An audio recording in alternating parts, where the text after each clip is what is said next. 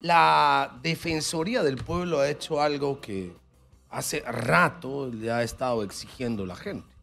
Caliwarma está haciendo agua por todos lados, por todos lados.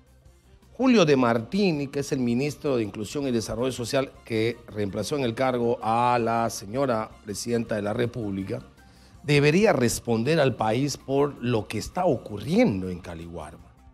La Defensoría del Pueblo ha hecho, bueno, que una labor de inspección, de control, de fiscalización, in situ. Ha ido exactamente a hacer supervisión en 11 instituciones educativas. O sea, sí, de manera sorpresiva. Ok, vamos, 1, 2, 3, 4, 5, 6, 7, 8, 9, 10, 11.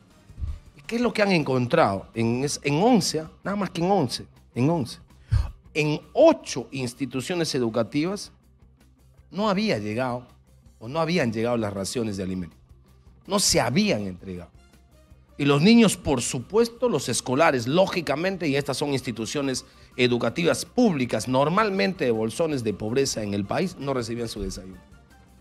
Eh, haciendo una indagación que sí, que los proveedores no dan, los proveedores no, que me han metido este otro problema, que me están obligando a poner a esto, a poner lo otro y una serie más de cosas. Lo concreto, lo definitivo, es que un programa tan serio que ha estado funcionando bastante bien, hoy da pena.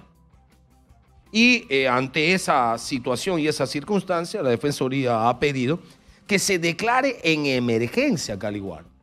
Yo no sé si declarar en emergencia resuelve el tema, porque a mí me da la impresión de que acá se cree que la declaratoria de emergencia es el, el agua bendita que sana y cura todo, ¿no? Y no es cierto. Este es un tema de gestión, de capacidad de gestión, de articulación. Y vuelvo a insistir, estás hablando de Cali Warma. Cali Warma que tiene que ver con escolares pobres del Perú a quienes se les da asistencia en alimentación. En un país donde las cifras de desnutrición y de anemia se han disparado a las nubes. En los gobiernos, que es prácticamente uno solo, de la señora Dina Boluarte y del señor Pedro Castillo. Exactamente igual. ¿Qué hacemos con ese ministro? Bueno, en otras circunstancias yo diría, Congreso, interpela. Pero este Congreso, ¿quién le cree? A este Congreso, ¿quién le hace caso? ¿A este Congreso referencia de qué es? De nada.